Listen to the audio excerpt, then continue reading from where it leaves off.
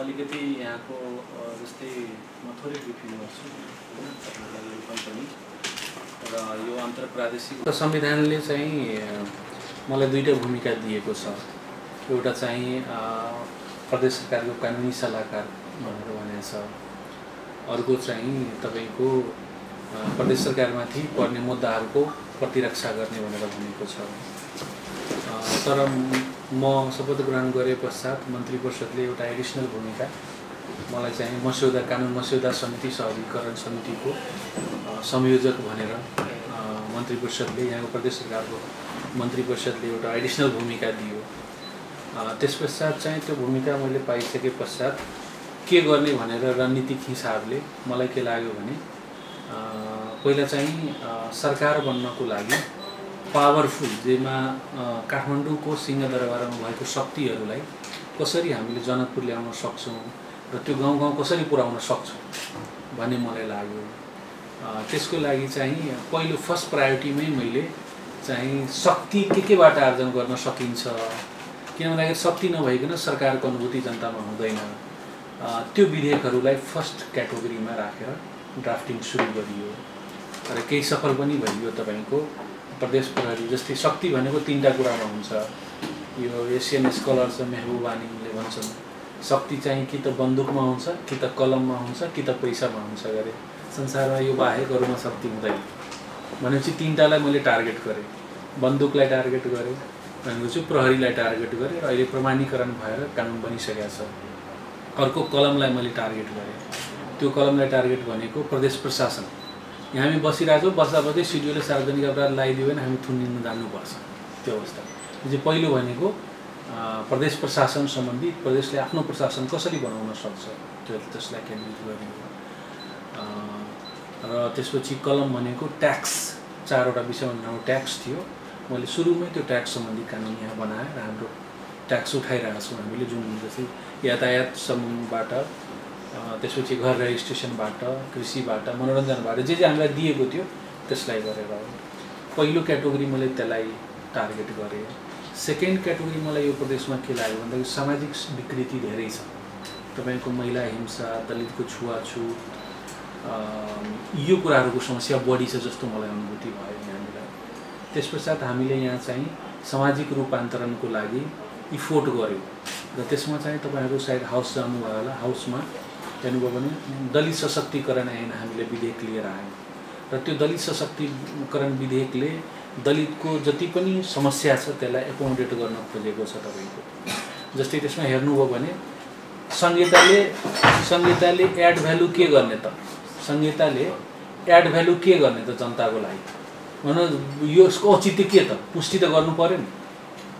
Additional के हुने त? माथि चाहिँ तपाईँको जेठो दाई छ तल कान्छो छ अब यो माइलो हो। माइलोको के पीडा हुन्छ तपाईँलाई भन्नै पर्दैन म पनि माइलो छु थाहा छ। बाबाले कसरी राख्छ भनेर। भनेपछि यसको भ्यालु त इस्ट्याब्लिस गर्नु पऱ्यो भ्यालु इस्ट्याब्लिस गर्दाखेरि तपाईँको जस्तै भनौँ न जातीय छुवाछुत कसुर सजाय थियो तर प्रहरीले जाहेरी दर्ता नगरिदिने। जाहेरी दर्ता गरे पनि मिलापत्र गराइदिने नसमात्ने त्यसमा त्यसको लागि त्यो ऐनले चाहिँ तपाईँको के गर्यो भन्दाखेरि मुख्यमन्त्रीकै अध्यक्षतामा सिधै जाहेरी प्रहरीले नलिएको खण्डमा त्यहाँ दिन सक्ने भनेर तपाईँको जातीय छुवाछुत अनुगमन समिति पावरफुल भनेर त्यो ऐनले व्यवस्था गरेको छ। जसमा मुख्यमन्त्री कानुन मन्त्री सामाजिक मन्त्री र म समेत छु। किन मैले मुद्दा फरवर्ड गर्न सक्ने भएको हुनाले मेरो पनि त्यहाँ राखेको छ त्यो समितिले अर्को त्यो हेर्नुभयो भने त्यसपछि दलितसँग समस्याहरू के छ भन्दाखेरि सरकारले उच्च शिक्षा दिएको छ। उच्च शिक्षा पढ्छ त ब्याचलर मास्टर पढ्ने पैसा हुँदैन। प्रादेशिक संरचनाप्रति सकारात्मक छैन। उनीहरूले ओनै गरेका छैन प्रादेशिक कि त सकिन्छ भने केन्द्रमै राख्ने सबै शक्ति दिनै पर्यो दिनै पर्यो भने स्थानीयमा फालिदिने। यो प्रदेश र कर्मचारी भनेको दुई ध्रुव हो। यति नकारात्मकता छ प्रदेशको संरचनाप्रति केले बन्यो त मलाई थाहा छैन। कहाँ फल्ट भयो त मलाई थाहा छैन।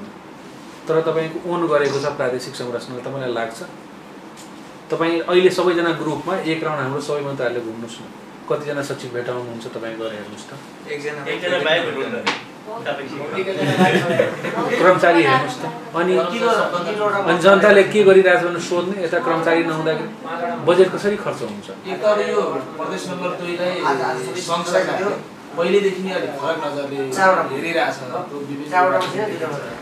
त्यो सँगसँगै चाहिँ अब प्रदेशको प्रहरी तपाईँहरूले अगाडि ल्याइदिएको लोकसेवाको भइरहेछ यो प्रशासन निजामती भइसक्यो प्रशासन यसले त झन् दूरी बढाइरहेछ नि। किन दूरी बढाउने? त्यो संविधानले दिएको मैले संविधानले दिएको। संविधानले सङ्घीय कानुनसँग बाँचेको हदसम्म खारेज हुनेछ भने बाजियो त हाम्रो। हो बाजियो। कोही गयो अदालत सर्वोच्च? अनि बनेको एक वर्ष भइसक्यो। कोही गयो? जानुहोस् न। म चुनौती दिन्छु। संसारको जुनसुकै अदालतमा गयो भने प्रदेश प्रहरी ऐन बाजिँदैन म संवैधानिक कानुनको विद्यार्थी म तपाईँलाई भन्छु किन गएन? सुन किन गएन कोही? किन गएन कोही? अहिलेसम्म अदालत जानु पर्थ्यो नि त। गयो कोही? सङ्घीय सरकारको गएको भए हुन्थ्यो। म तपाईँलाई भन्दैछु हामीले दुई सय अडसट्ठीमा तपाईँ संवैधान यहीँ छैन दुई सय अडसट्ठी दुईले स्पष्ट रूपमा प्रदेश प्रहरी गठन गर्न सक्ने भनेर भनेको छ। ठिक छ? त्यसमा कुनै किन्तु परन्तु बट तर र छ? छैन। छ। छ। ल मलाई देखाइदिनुहोस् न। तपाईँ छ। अब आउनुहोस् दुई सय अडसट्ठीको तिन तपाईँले भन्नु यहीँ हेर्नुहोस्। प्रत्येक प्रदेशमा प्रदेश प्रहरी सङ्गठन रहनेछ। फुल स्टप कमा र किन्तु परन्तु बट छ। यसलाई कसैले रोक्यो? बनाउनलाई त्यसपछि। तपाईँ आउनुहोस् त्यसपछि दुई सय अडसट्ठी तिनमा होइन? तिनमा के भन्छ नेपाल प्रहरी र प्रदेश प्रहरीले सम्पादन गर्ने कार्यको सञ्चालन सुरक्षा समन्वय सम्बन्धी व्यवस्था सङ्घीय कानुन बमोजिम हुनेछ भनेर अडसट्ठी तिनले भन्यो होइन तपाईँ हाम्रो ऐन प्रदेश सभामा लिएर जानुहोस् त्यसको दफा निनानब्बे नाइन्टी नाइनमा यही कुरा हामीले लेखेका छौँ प्रदेश प्रहरी गठन हुनेछ त्यसले गर्ने कामकाज समन्वय सङ्घीय प्रहरी ऐन बमोजिम हुनेछ भनेर राखेका छौँ कसले च्यालेन्ज गर्छ कन्ट्राडिक्ट गर्छ। त अस्ति गृहमन्त्री आएर यो सिडिओ राख्न पाइन्न भन्ने यो दिनुभयो भन्नुभएको थियो। संविधान उहाँले भन्नुभयो संविधानले प्रदेशले सिडिओ राख्न मिल्दैन भन्नुभयो होइन? संविधानको कुन धारा उहाँले बोल्नुभयो सोध्नु न प्रति प्रश्न। म तपाईँलाई भन्छु बरु सङ्घले राख्न मिल्दैन म भन्दैछु ल। म तर्क दिन्छु तपाईँलाई म दुईवटा कुरा देखाउँछु तपाईँलाई। त्यो भनेर हुँदैन नि। तपाईँको संविधानको धारा अधिकार सूचीमा छमा होइन? एक नम्बरमा क्रम सङ्ख्या। तपाईँ त ऱ्यासनल तर्क गर्ने पोखरा चिसो ठाउँ त्यो म तर्कै कुरा गरिरहेको छु। यता यता त झगडै बढी भइहाल्छ यस्तो। त्यो चिसो ठाउँको मान्छेलाई भन्नुपर्छ। एक नम्बर प्रदेश प्रहरी प्रशासन के भनेको छ हाम्रोमा? प्रदेश प्रहरी प्रशासन र शान्ति सुरक्षा हो। शब्दको अर्थ लगाउनुहोस् है। प्रदेश प्रहरी प्रशासन र शान्ति सुरक्षा। प्रशासन भन्ने शब्द मेरोमा पर्यो मेरो प्रदेशमा बनेको सङ्घलाई के भनिदियो भन्दाखेरि तपाईँको? केन्द्रीय प्रहरी सशस्त्र प्रहरी बल राष्ट्रिय गुप्तचर अनुसन्धान शान्ति सुरक्षा। प्रशासन कहाँ दियो उसलाई? सुन्नु म म आउँदैछु म आउँछु नागरिकतामा तपाईँ नआत्तिनुहोस् न। पहिला प्रशासन शब्दावली छ उसकोमा। पुरै सूचीमा कतै पर्या छ? सुन्नुहोस् न कुनमा? देखाउनुहोस् न। म आउँदै होइन नागरिकताकोमा आउँदै छोड्नु पहिला यो प्रशासनको टुङ्ग्याउन म आउँदैछु। प्रशासन शब्दावली कहीँ उसकोमा पर्या छ? छैन होइन? अब आउनुहोस् तपाईँको म तपाईँलाई अब नागरिकताको कुरा आउनुहोस् हामीले बनाएकोमा हामीले नागरिकता कभर गरेका छौँ। नागरिकता राजधानी र सीमा सुरक्षा उसलाई छोडिदिएका छौँ हामीले। र उसले आफ्नो प्रतिनिधि राखोस् त्यसको पदको नाम नागरिकता राजधानी सीमा अधिकारी राखोस्। प्रशासन होइन प्रशासन होइन संविधानले त्यो शब्दलाई उहाँलाई युज गर्ने मौका दिएको छैन संवैधानिक बहस गरौँ न त। संविधान हो भने। जाउँ न संवैधानिक बेन्चमा। बाहिर दृष्टिकोण एउटा बनाउनु प्रदेश दुई प्रदेश छुट्टै कुरा हो। तर्कको बेसिसमा लजिकको बेसिसमा अर्को तपाईँलाई भन्दैछु। ल म तपाईँलाई अहिले देखाउँछु।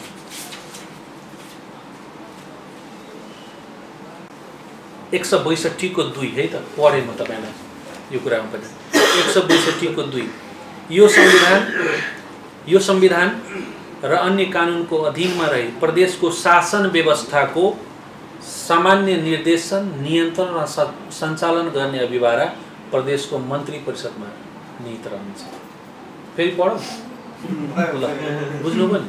यो प्रदेशभित्रको शासन व्यवस्था सञ्चालन गर्ने जिम्मा यहाँको मन्त्री परिषदमा निहित छ। प्यारल कुनै स्ट्रक्चर हुन सक्दैन। र त्यो मन्त्री परिषद भनेको जनताको सार्वभौम प्रतिनिधि हो। तपाईँले भोट दिएर प्रदेश सभामा प्रदेश सभाले चुनेको व्यक्ति मात्रै आउँछ। कुनै एडमिनिस्ट्रेटिभसँग हुन सक्दैन अब डेमोक्रेसीमा। उसलाई दिएको छ। यो दुईवटा ऱ्यासनलमा मलाई भन्नुहोस्। प्रशासनिक अधिकारी मेरो हुने कि उनको हुने?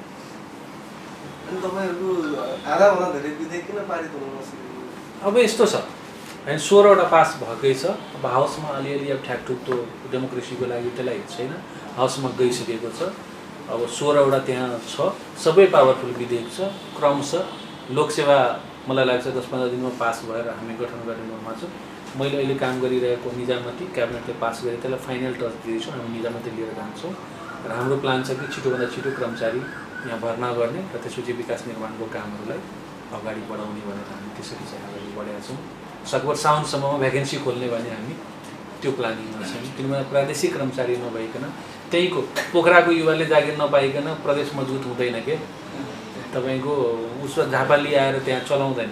यो प्रदेश नम्बर दुईमा हामी अरू बाहिरको प्रदेशको आएर यहाँ उम्मेदवार दिन पाउँछ त्यो। पाउँछ किन नपाउनु तर प्रदेशको सोभरेन्टीलाई एक्सेप्ट गरेको मान्छेले त्यसको माथत रहेर काम गर्नुहोस्।